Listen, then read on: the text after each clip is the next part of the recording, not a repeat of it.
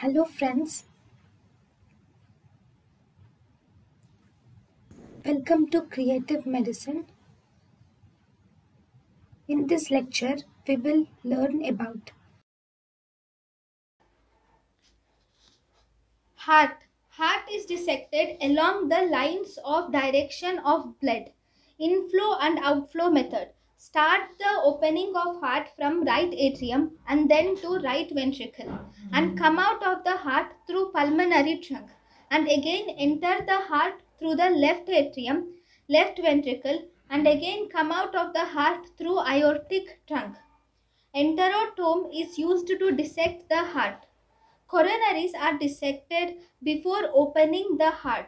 Along the path of coronaries, go on making serial sections of the coronary arteries at a gap of 1 to 3 millimeters to see the patency of coronary arteries.